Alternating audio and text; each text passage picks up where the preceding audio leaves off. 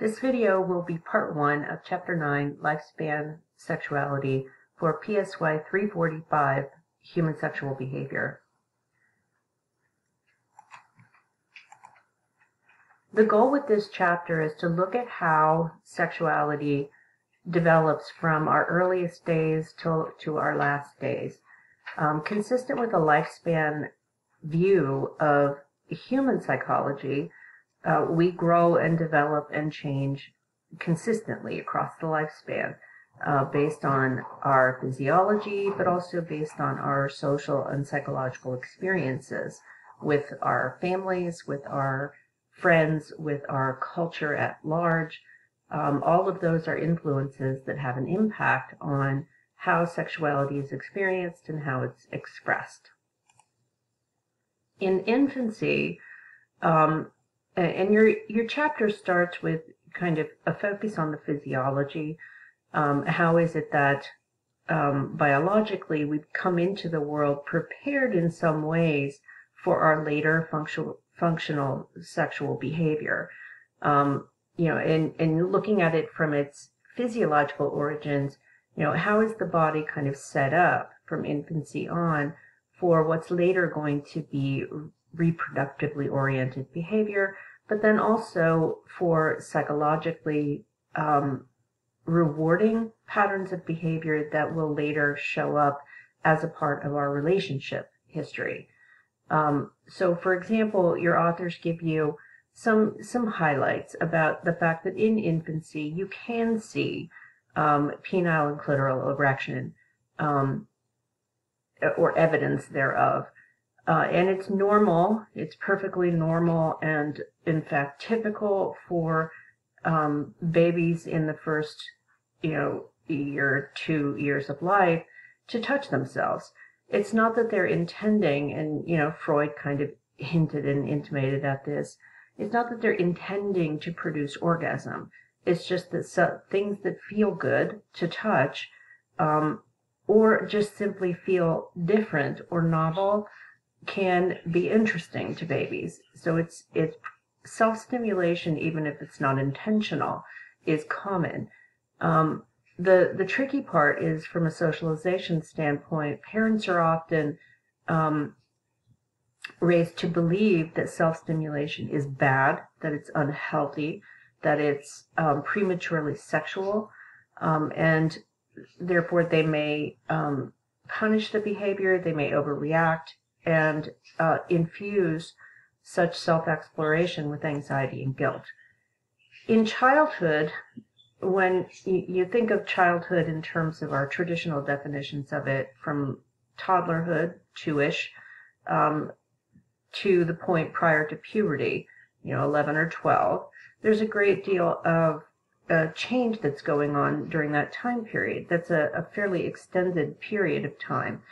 Um, what's normal, uh, undressing is normal. So exhibitionism. I know in my household when my kids were toddlers, you know, I felt like sometimes we needed to have naked hour just so the kids could run around naked and not worry about it. Um, Self stimulation continues to be normal.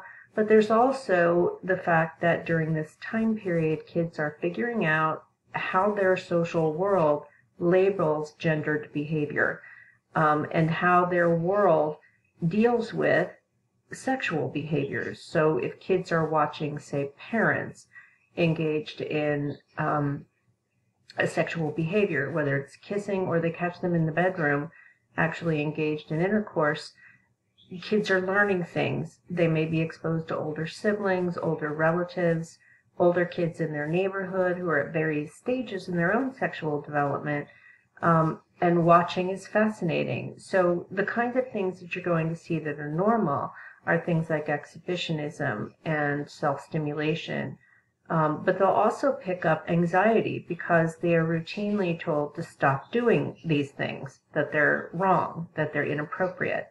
Um, and again, overreactions by parents, caregivers, and, and other people in positions of power, such as teachers, clergy, um, can cause a lot of guilt and anxiety.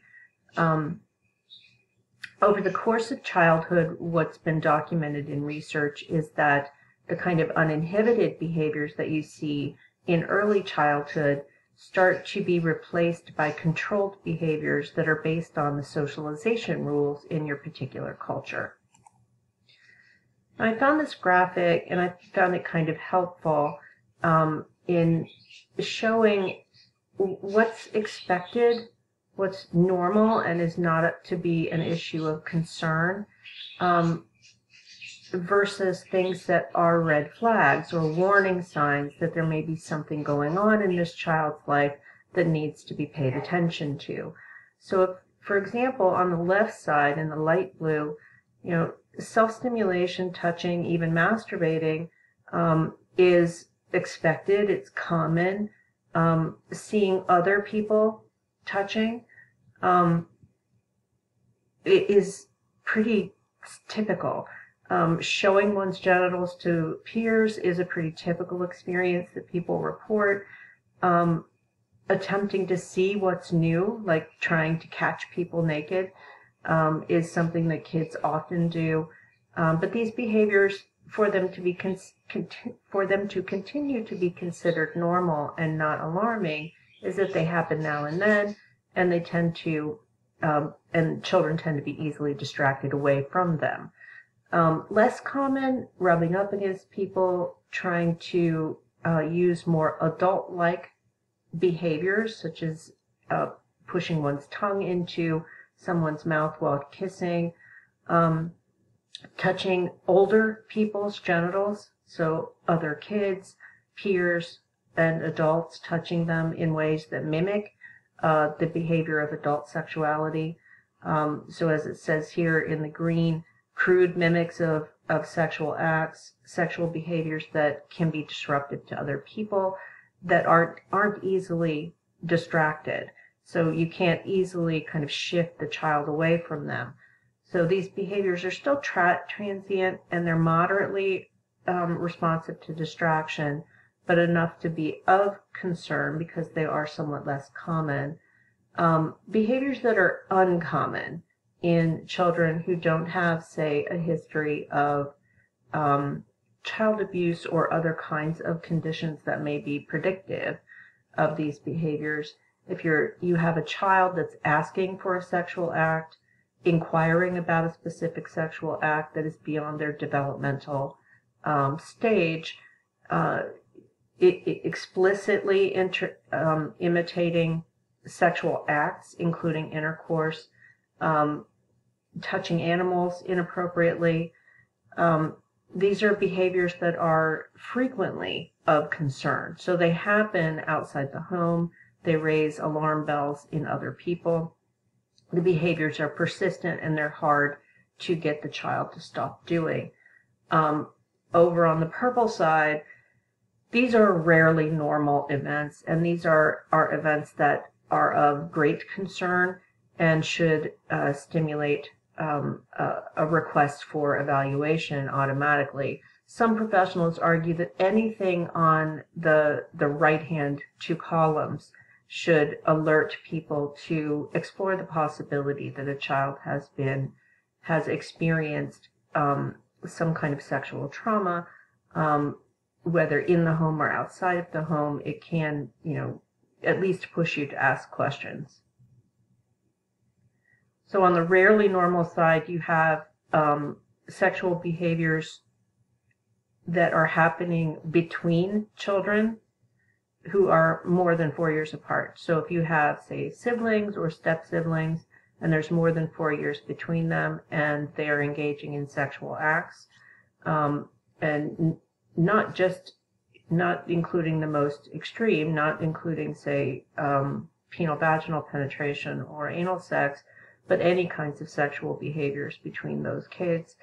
Um, when you have a variety of sexual behaviors being uh, presented in the child's repertoire every day, um, sexual behaviors that cause distress in the person, um, in the child, uh, and they're distressing to others as well. Um, additions of physical aggressiveness to the sexual behaviors that are being exhibited, um, and ex- expressing behaviors that involve coercion. Um, so you know, it's it's never normal to see a child who mimics being bound or restrained, for example.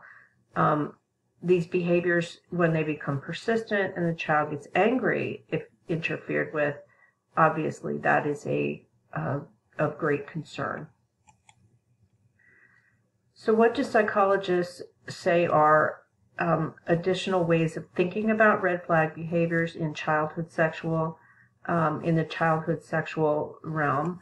Um, well, you know, research on this is challenging for for researchers, but you know, the bottom line: if you have a behavioral pattern that occurs often enough and can't be redirected, if it's causing emotional or physical pain, um, if the child is injuring themselves or others, if there's aggression involved, if there is force or coercion involved, and there's an overt um, imitation of adult sexual acts, that's problematic and very of great concern.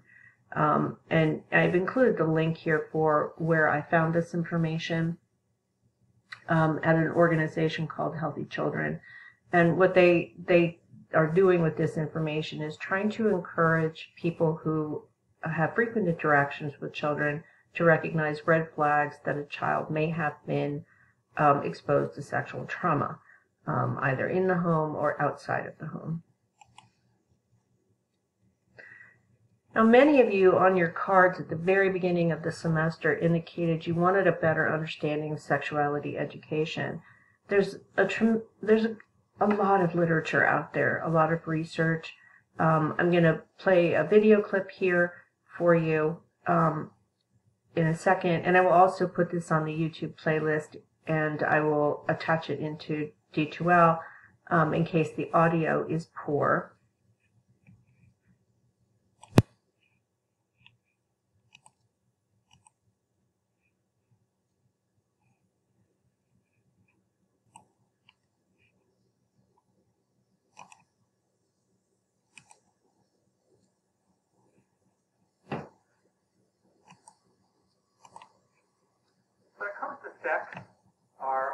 minds aren't always in a good place. My friend Jean Marie says that we Americans are sexually repressed to the point of being sexually obsessed.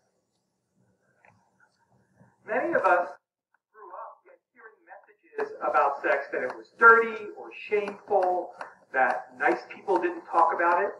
And those same nice people, when they did it, they only did it in very serious and sometimes sacred ways. And we may have suspected that that wasn't exactly true, and certainly not true all the time. Didn't get a lot of chance to talk about sex or ask questions about it, and certainly not to explore it. So what happened to all that sexual curiosity and energy and interest? Sometimes it got driven inside and became anxiety. Sometimes people acted on it outwardly and they got branded outcasts and rebels advertising figured out that they could use that to sell us everything from toothpaste to Tupperware. Television teased us with sexual innuendo or gave us uh, shows about lifeguards running on the beach in slow motion. And then came easy access internet porn, and things really got messy. So how do we deal with this? How do we become a people who can look at sex honestly and confidently, and who can see sex as a way to make ourselves better people and our world a better place. That's my job. I teach comprehensive, progressive sexuality education in a little high school just outside of Philadelphia. And I wanted to share a couple of ideas with you today that might help us get our hearts and minds in a better place when we think about sex and sexuality. Now, when I say sexuality, what I mean is the way that our bodies, our gender, our sexual and romantic orientations come together to make us who we are and impact how we put ourselves in the world and how the world reacts to us. See, we're not sexually active people 24 hours a day, seven days a week. That would be exhausting. But we are sexual people from the moment we're born to the moment we die, every minute of every day. Our sexuality is a fundamental facet of our humanity. We can't separate ourselves from it. And so we have to learn how to deal with it in positive and healthy ways. So the place to start would be to think about what's our bottom line belief when it comes to sex? When push comes to shove, what do you really think about it? What does your gut tell you? Let's do a little thought experiment. So I'm going to say a letter of the alphabet, and I want you to think of the very first sexually related word or phrase that pops into your head. Okay? I'm not going to ask you to share these out loud, although later they might make for some great conversation. So just trust your gut. Don't overthink this, okay? Here we go. A. Okay. Okay, how about this one? How about J? Okay, one more. W. Okay, so if you're like most people, you probably thought of a sexual body part or a sexual act. And then you probably had an emotional reaction to that thought. Some people might have felt kind of embarrassed or ashamed. Oh my God, how did I think that? Um, other people might have felt kind of excited, like, I'm going to think about that a little more. Your, your gut reaction gives you some real insight into your bottom line belief about sex. And in my work, what I have found is that there's two very prevalent bottom line beliefs about sex in our society. And the first one is called the disaster model. And the best example of this comes from a sex ed video that was used in the 80s and 90s called No Second Chance. It was an abstinence only video, and in it, a little high school kid asked the school nurse who was teaching a sex ed class, what if I don't want to wait until I'm married to have sex? And the nurse looked at the kid and said, well, I guess you'll just have to be prepared to die. See, the, the disaster model sees sex exactly like that. It's a disaster waiting to happen. That it's about shame and guilt and fear and yes, there is some possible way that sex could be nice and good, but in most cases, it's just an invitation to an STD and a lifetime of misery. Now, the second bottom line that I see a lot in society, I call the porn model. And people who follow the porn model buy into two of the biggest myths that pornography offers to us. The first is that everything in life leads to sex. So, a plumbing problem, dirty swimming pool, pizza delivery, even a math class is just a prelude to having sex with somebody. Now, I don't know if you've really considered the implications of this, but that means there's a lot of leaky pipes and cold pizzas and unsolved math equations in the world. But that's what you get if everything's about sex and everything leads to sex. And then the second myth that the porn model gives us, it tells us that the sex that we have isn't really connected to the rest of our lives. And to get my students to think about that, I ask them this question.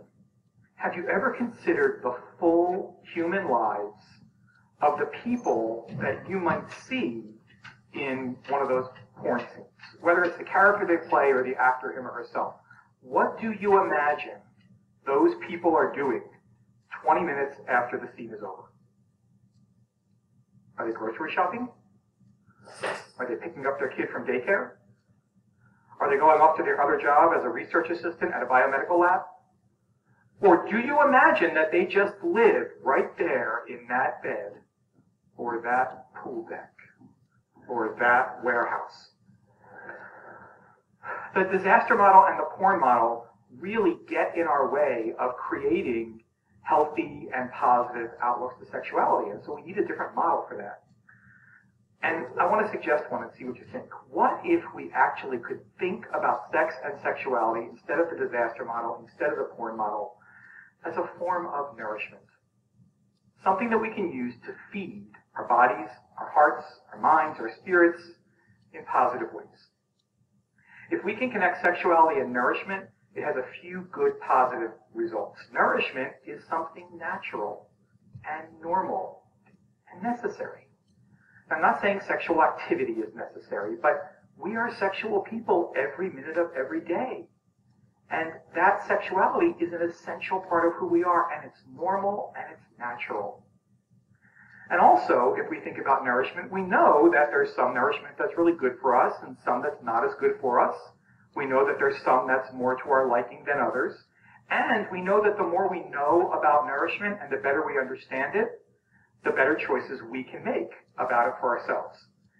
And maybe we could see sex in the same way. Something that the more we know about it and the more we understand it, the better we can use it to make healthy choices for ourselves. The second thing I think we can do to get our hearts and minds in a better place about sex is to change the way we think about our genitals. I want to ask us to revise our genital expectations. So when I teach about genitals in my class, I use this story. I'm going to tell you this story, and I want you to see if you can put yourself in the place of the main character. Okay? So it's a beautiful day here at Wake Forest. You have woken up on time. You went to your first class. It was easy. You aced the quiz that you had. It's going well. And now it's lunchtime and you're very excited. So you go into the dining hall. You find the table where all your friends are. And as you go to sit down at the lunch table, you realize that something is wrong.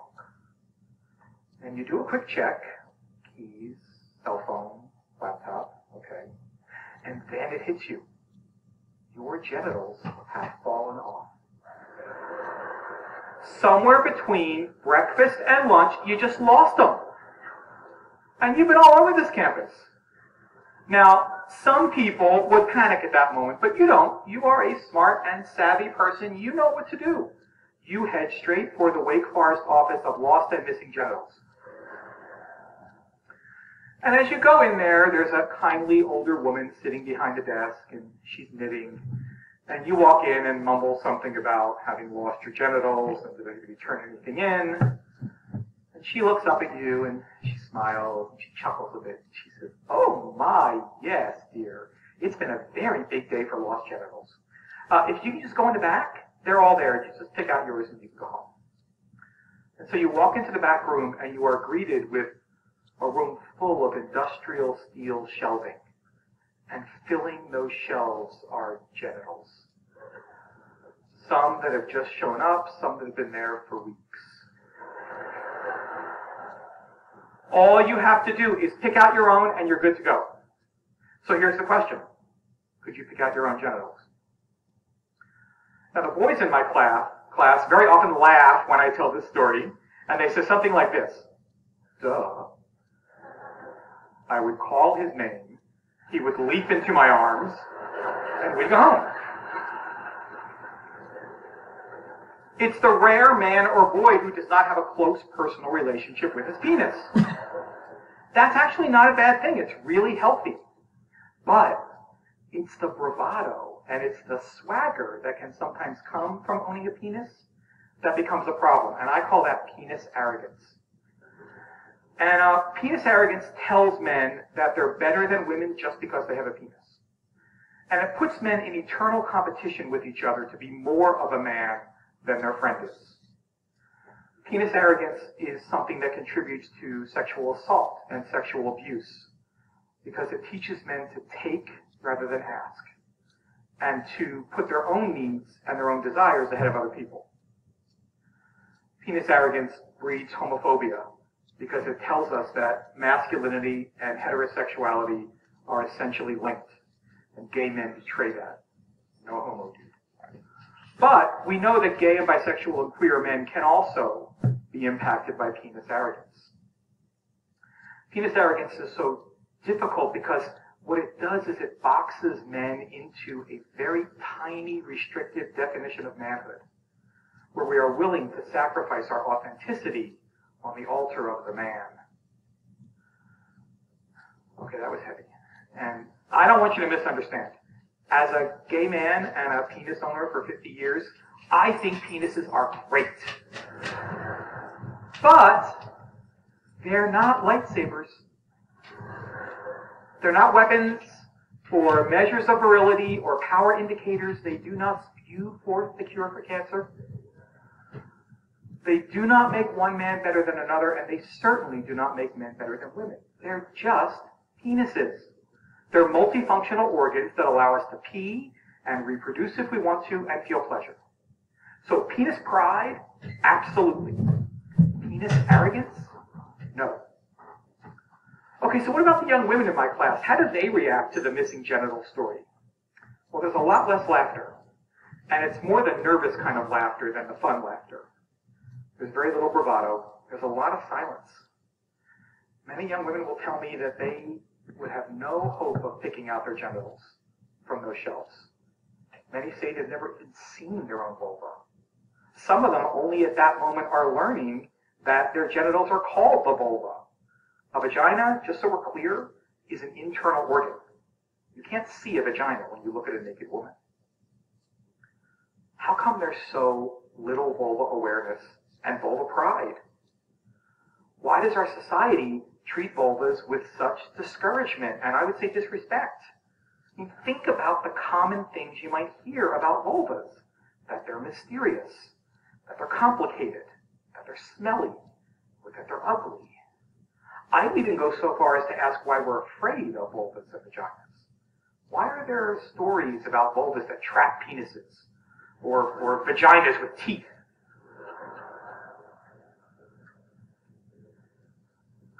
How do we help women understand and feel more pride about their own bodies? Eve Ensler's The Vagina Monologue is all about helping women feel a sense of empowerment and feel permission to love, appreciate, and look at their vulvas. And that's really good work that we have to continue. The other thing that happens if we revise our genital expectations is we make room for are transgender and intersex and genderqueer brothers and sisters. And we think about people who have spinal cord injuries or other medical conditions that affect genital function and sensation. And we allow for people to live in a world without defining themselves by what's between their legs and how they use it. That's a world I would like to live in. And I think we need to work to make it happen. And lastly, I think we need to really redefine the phrase having sex. If somebody comes to you and says they had sex last night, what do you assume they did? The classic assumption is that they had vaginal intercourse with a penis. Unless the person who comes to you is a gay man, right? Because then it's a different assumption that maybe it was anal intercourse. And when it comes to lesbians having sex, a lot of people just get confused the definition of having sex is problematic for a couple of ways. One, a, a, definition that needs to change based upon the orientation of the people involved is a problem. The very fact that we get hung up on how lesbians have sex shows us that our definition is pretty penis-centric, sort of an artifact of penis arrogance. And lastly, the definition having sex, vaginal intercourse with a penis, is entirely mechanical. Stick that in there. The definition says nothing about consent or pleasure or mutuality or connection. So what if we could redefine having sex? And I'd redefine it this way. Having sex means consensual activity designed to bring sexual pleasure and satisfaction to the people involved. I've heard a lot of people push back against that definition. They have a lot of problems. They say, but how will we know what people did? Why do we need to know what people did? And if we want to know and they want to tell us, why can't they just name the behaviors they engaged in and whether they liked them or not? Oh, but if we have that definition, we have to talk about sex and that's really awkward. Well, it's awkward if we don't really believe that sexuality is natural and normal. Oh, but what about the definition of virginity? Isn't it time we got rid of a definition of virginity that divides women into nice girls and sluts and has very little impact on men at all? The reason why I feel so strongly about this is that I see sex as a social justice issue. Our sexuality is a fundamental facet of who we are as people, and we have a responsibility to use it to make a world that is more fair, more equal, more connected, more free, and more loving. We have to make a world where what's between our legs and the way we use it is not used to create hierarchies of power and control, but is used to create connection and fellowship and understanding. I hope that's an enticing vision for you. And I hope you'll join me on the journey to help make it happen. Thanks very much. Now, there are so many things that I adore about that uh, TED Talk. Um, I, I encourage you to watch it again and kind of think through the arguments that he's making. Um, be, before I get into talking about parents as uh, agents of sexual education, we have to, you know, come to grips with the fact that so often, at least in our cultural context, kids are exposed to one of two basic models, sometimes both. They're exposed to the disaster model and they're exposed to the porn model. And um, they're going to be exposed to both of those models from multiple sources because that's the way our culture tends to be organized. Now, when we talk about parents, in American culture, we tend to defer to parents in zones that are considered to be private. Um, and we tend to assume that parents will do their job, essentially, to inform children in a socially appropriate way as to what sex is and how it's to be pursued. Um, in the previous TED Talk video, the, those assumptions can't really be relied upon because we're not really seeing that kids are coming into um, their adolescence with the requisite knowledge to have consensual, mutually satisfying sexual experiences. So, what can parents do as educators? Um, you know, your authors talk about how sexual socialization and education in, should involve imparting knowledge. It also involves attitudes and values um, about sexuality. And in, in many ways, you know, parents have to, they either can adopt the doom and gloom disaster model, and unfortunately many parents do that, or they, they simply ignore the fact that there is a porn model and don't assume that their kids will be exposed to pornography. Well, they will be. Um, I would add a third model here, which is the ignore it until it's a problem model um, and that can be pro- problematic. You know, parents are, are typically the first source of sexual socialization, um, and unfortunately, it's usually in the form of rules um, and heavily infused with gender norms um, and norms about the uh, heteronormative uh, nature of the way our culture still looks at sexuality. So many parents start off by being anxious in their discussions with children. We we tend to make it, you know, that message is in our comedy. It's also in our dramas where parents are supposed to be anxious about the talk. Um, and they're supposed to be so anxious that they infuse fear into their children so that their children might hypothetically avoid sexual behavior until they're out of their uh, the visual and emotional range of their parents. Um, so again, disaster model they're more likely to talk about reproduction as a thing to be avoided. Um, and they're also less likely to talk about relationships and how to nurture relationships. In addition to that, you know, less likely to talk about relationships, they're not typically talking about consent, how to get it, how to give it. Um, what we do know from research, when parents are open, and they focus on relationships, they focus on consent, they focus on accurate information about physiology and behavior, that kids tend to behave in a more safe and more um, consent focused way.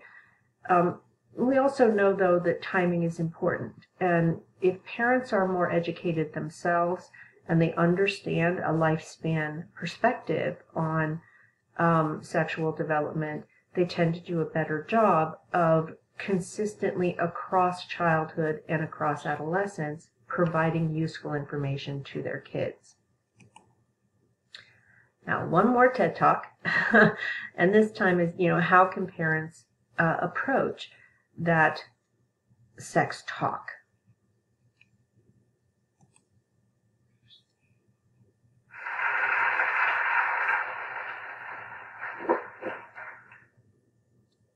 Talking to kids about sex and sexuality makes many of us want to run for the hills. Or more accurately, we want to run for the hills, shove the kids into a cave, and retrieve them somewhere around their 25th birthday. Sex perhaps has always been a taboo subject, but in our current sex-saturated culture, we have new challenges for how we raise kids. Between news stories of sexual assault that are now complicated by sexting, by pop culture that sometimes tends to promote sex instead of talent, and marketing campaigns aimed at selling 11-year-olds thong underwear, it sometimes seems like we have great rationale for keeping our kids in the dark for as long as possible. But the truth is, our kids live at a time when the lights are always on. By the time they can hold their own heads up on their necks, they're literally looking around, soaking up messages about sex and sexuality from the world around them. So it strikes me as a really good time to be bold in our approach to talking to them about the topic. Here's the rub though. Sex is still a taboo subject. We think it's dirty and wrong for polite company. We understand that having information about human sexuality supports the decision, but we're really not very good at finding information or sharing it. We appreciate that women who dress in particular ways aren't asking for it, but we hold them in contempt for it nonetheless. We celebrate declining rates of teen pregnancy and we shame 16-year-olds who get pregnant, choose to parent while finishing high school. We openly read Shades of Grey, but we don't tell our sexual partners which parts turn us on the most. This cultural promiscuity, combined with our prudish communication, creates a powerful kind of sexual shame for the younger generation. By the time they hit puberty, they are literally surrounded by sexual messages, very few of which offer open and honest communication about sexual thoughts, feelings, or behavior. Some of the sex education they're given even reinforces this limited idea of sexuality that they're fed by mass media. The early lessons that our kids get are generally surrounded by danger and harm. Dress and act a certain way and you'll be bullied. Do certain things and well, you'll end up pregnant. Or look at disease. But sexuality is broad, vast, and complex my fear is when we focus on what's troublesome about sexuality, we're we're missing all the good things. It's a little like telling young people about world travel by reinforcing that they need to be wary and fearful of pickpockets and thieves. Instead of us filling their minds with all the ways they'll be enriched by food and music and art, history, people, we teach and and reinforce how they need to conceal money belts beneath their clothes. Right from the very beginning, we fill our kids with shame, sometimes inadvertently. We teach them that certain parts of their body are a secret and subject to potential harm. We couple this with our habit of giving pet names to our genitalia. Now, don't get me wrong. I am a big fan of slang. And I encourage all of you to come up to me during the break and tell me your favorite euphemism for genitals. Mine is honeypot. But here's the thing, our kids, they need the scientific words before they can enjoy these. Research tells us that when kids are equipped with words like penis, testicles, vagina, and vulva, they're less likely to be victims of sexual abuse because perpetrators seek out kids who don't have the language or skills to communicate clearly. We come by these limitations as sex educators, honestly. Let's do a quick poll. Hands up is when you were young, a parent or somebody else sat you down for a really good conversation about sex. Have a look around. All right, so those very few people, keep your hand up if that conversation included the positive aspects of masturbation. Yeah. See, for so many people, sex education was a biologically accurate book about reproduction left on our bedside tables, and no more. Our parents learned sexual shame from theirs. They taught it to us.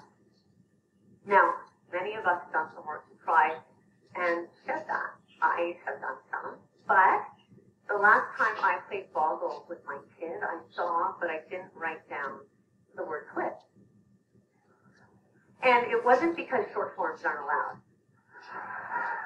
See, we all hold some sexual shame. But I think we can change that. Whether we're parents, aunts, uncles, grandparents, coaches, teachers, I think we can shift this dial from our shame-filled and hypersexualized culture to one where people respect themselves, respect others, and respect the broad range and incredible power of sexuality. Let's imagine a young, unattached, but sexually active young woman, unafraid that other people will consider her slutty. Let's imagine a young man shaking with emotion during a sexual encounter, able to tell his partner or his friends about his feelings. Achieving this shift requires a big change in how we think and how we act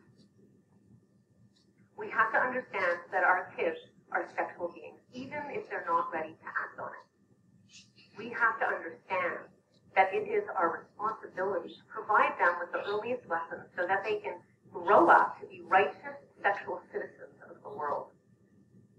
In terms of our actions, this is really all about talk. We need to talk to young people all the time. We need to talk to our preschoolers when they're back we need to talk to our tweeners after we watch a terrible rom-com with them. We need to talk to our teens over their blaring music. We can reinforce the messages when they're checking their Tumblr feeds or when we have them hostage in the car en route to hip hop or hockey practice. We need to talk to them now while they're young so that they know it's always a topic of conversation in their home. We need to talk to them now while they're young so they know we're their allies and not the last person on the face of the planet who could possibly understand. We need to talk to them now while they're young so we have a chance to overcome our awkwardness and prepare for the growing complex conversations ahead. So what do we need to talk to them about? There's a lot. But I think there are four key things that we really need to hammer home and it'll shift the dial. The first is that sexuality is natural. It's been around since time immemorial and it will continue to be around. We're not born knowing how to be sexual, especially with the larger world around us. So this is about giving kids the form and function of it all. And we need to encourage them to be curious and enthusiastic. And we need to be enthusiastic too, or at least fake it. Because when we're not, they can usually tell, and they may take it as a cue for how they're to behave. The second thing that we need to reinforce is that sexuality is life enhancing. We need to tell young people that it's good. Sure, sex is for procreation, which is good, but for the most part, when we are thinking and engaging our sexual selves, we are not thinking about procreation. Sexuality teaches us about ourselves. It informs our beliefs and our values. It provides incredible opportunities for intimacy and love to be expressed. It's physically good for our bodies. There are so many benefits. It helps us go to sleep. Right? It helps us wake up. It's really good. The next thing that we need to let young people know is that sexuality isn't simple. It's natural. It is life enhancing, but it ain't easy.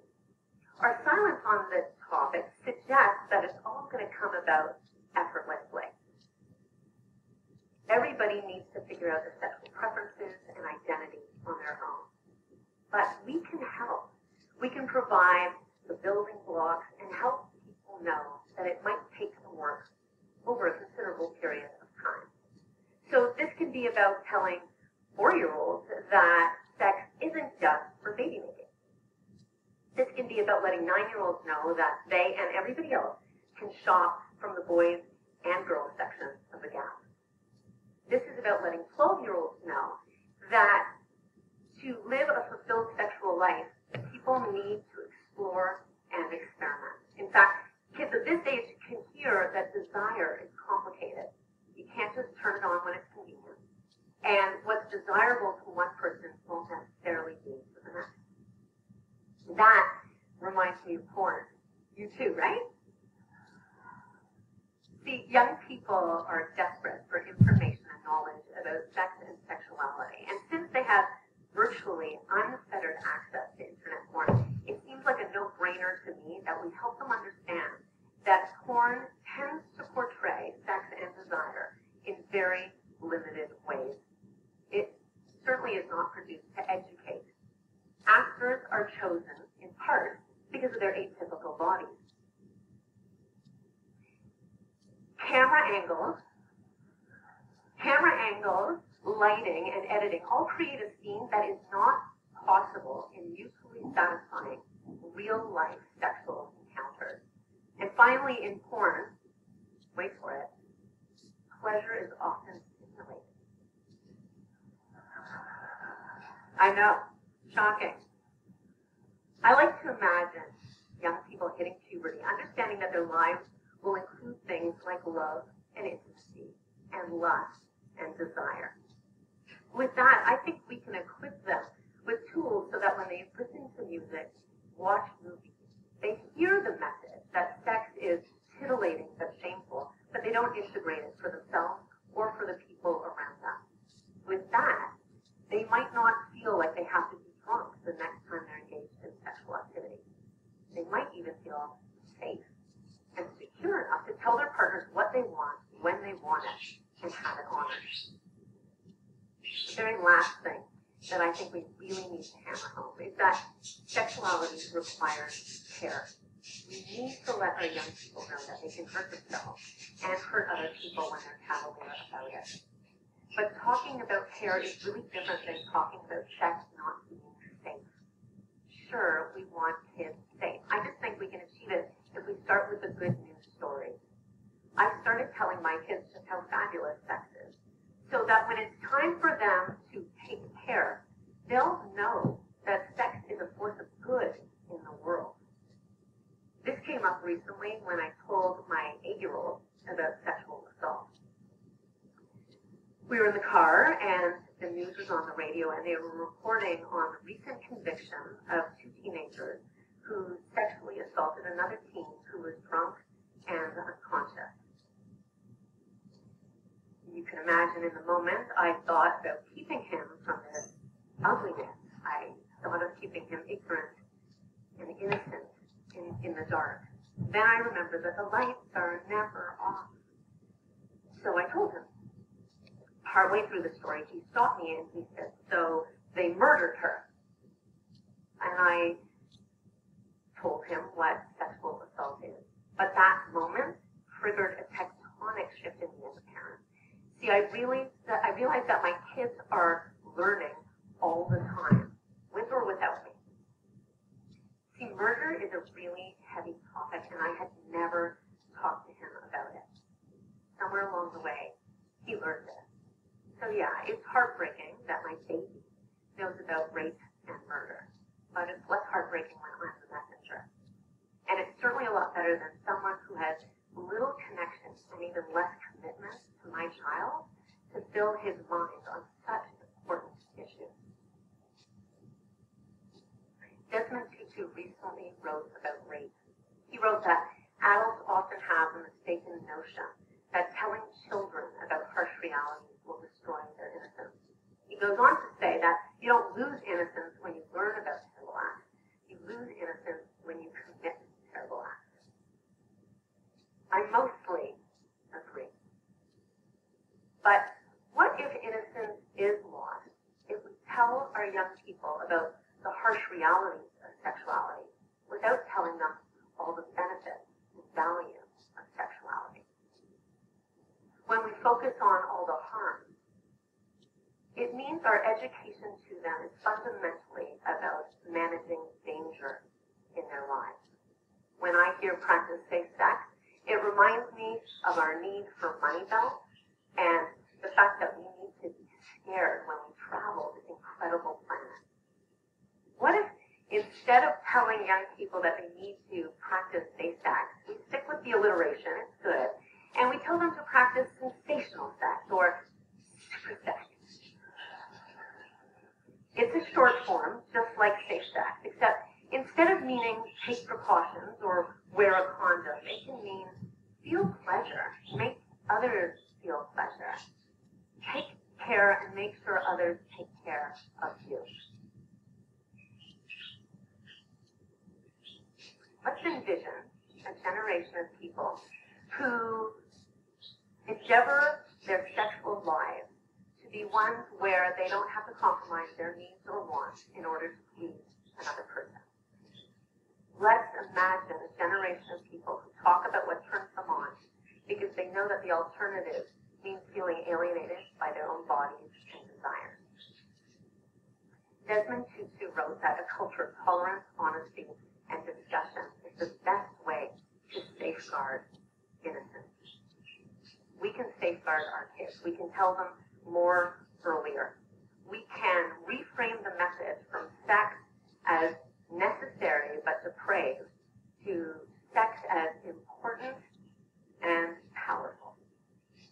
Silence and squeamishness is destroying everything that's good about sex and sexuality. We can change that, and our kids deserve no less. Thank you. I think that's an excellent place to stop just to reinforce the message. When you think about having to talk to your kids or your nieces and nephews, whoever they are, the the important messages are that it's sex is natural, that it's life affirming and life enhancing, that it isn't simple and requires and it requires care. Those are really powerful messages and notice how they are very inconsistent with the messages we typically tell parents about having the sex talk with their kids. Um, so I think we'll pause there. Um, this will be the ending of part one of this presentation.